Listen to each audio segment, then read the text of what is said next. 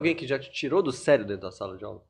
Algum episódio assim que tu possa contar das antigas. Não precisa citar né? o nome de ninguém. Não precisa tá? citar nome, mas assim, porque é, eu imagino, como você falou, né? Você tá tendo essa. Professor, né, que- Conhece um professor, um exemplo aí que você Não, pode. eu, é, eu vou, te- eu vou contar onde talvez tenha sido, é, foi a que me lem- me lembrou agora, uma uma situação me ocorreu, que havia um aluno, realmente eu não lembro o nome dele agora, não, não tenho como lembrar, que numa escola. na- Não era Robson, não, dele- né? Não era Robson. Não, né? não, não. Não, ele não me expulsou ainda. Na, Não es- foste expulso, Não. na escola onde ele estudava, porque ele fazia o cursinho com a gente à noite, ele teria dado com uma raquete na cabeça de um colega. Nossa. Deu uma raquetada no cara e parece que deu numa outra no rosto dele. Não, E o comportamento dele era um comportamento muito complicado lá na escola. Tanto é que nós não trabalhávamos nessa escola, só tínhamos dois professores que trabalhavam conosco e que trabalhavam nessa escola que contou esse episódio. Que era um rapaz que dava uns problemas lá de, de, é, de- comportamento, assim, ele, era- ele era meio agressivo.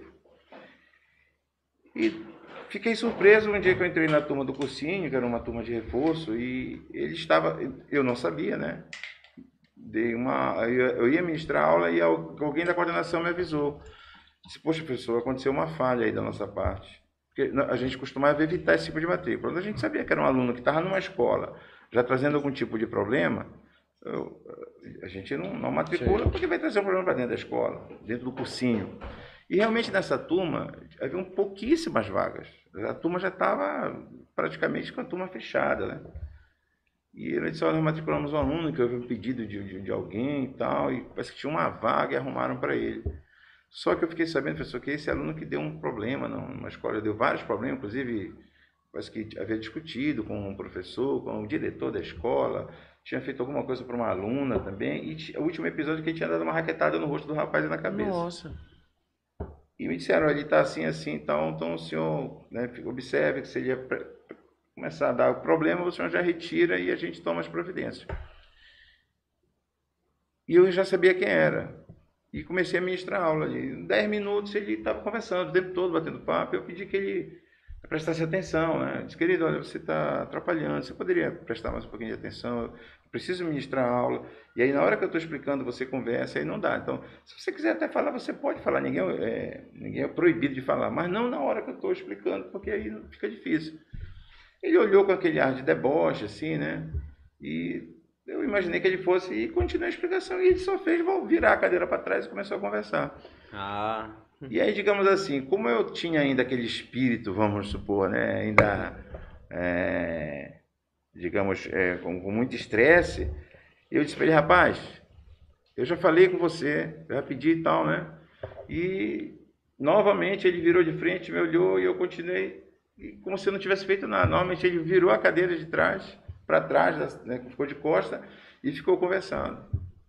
E eu sabia que era o, o rapaz do problema. Eu digo, esse cara vai me dar problema. Aí eu disse para ele, cara, você vai sair de sala.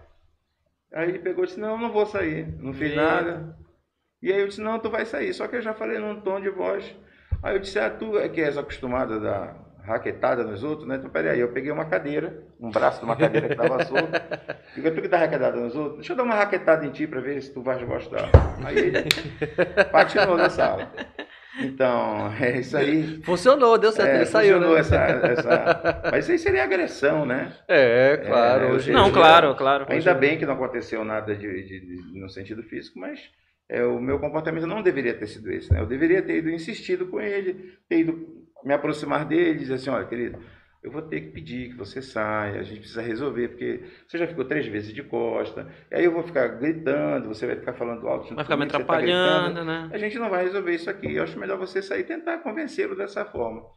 Então, Tu achas que isso foi um, um movimento bom, positivo? Essa mudança de comportamento, essa mudança de postura, tudo isso que aconteceu, que, que transformou coisas que antigamente eram vistas como brincadeiras e tal, é, é, em bullying, em coisas ruins, em coisas que podem dar até processo e tal? Sim, acho que, que, a- que, que a coisa mudou para melhor. Né? Melhorou porque o professor também passa a perceber que ele não, não pode fazer o que ele quer, né? Que é porque às vezes é naquela, naquele, naquela brincadeira da sala, você acha que você pode fazer o que você quer. Aquela hierarquia, né? É, tipo, não, tô aqui, hierarquia, pode né? brincar, Sim. pode apelidar, porque todo mundo apelida, né? Os alunos me apelidavam também, entendeu? Então eh, havia aquele clima, mas nesse meio vai ter sempre alguém que não vai gostar do apelido, que não vai gostar da brincadeira, se você falar da roupa dele, né? Às vezes uma, uma moça passava e eu dizia assim, ah, você trouxe a aproveitar a coxinha da sua casa hoje para eu vestir e tal, né? E aí ela ria, aí ela dizia, é, mas o seu sapato, não sei o que para mim, né?